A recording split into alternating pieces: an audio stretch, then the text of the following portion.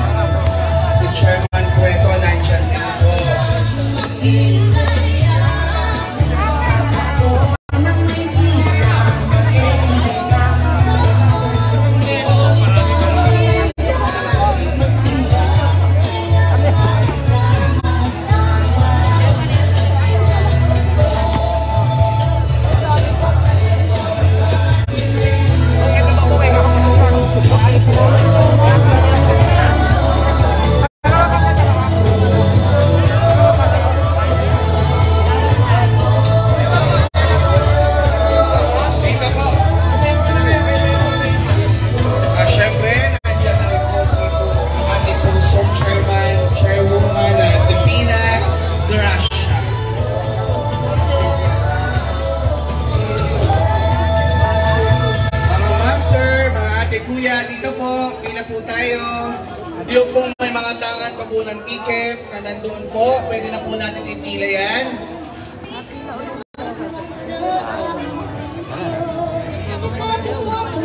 Dito po.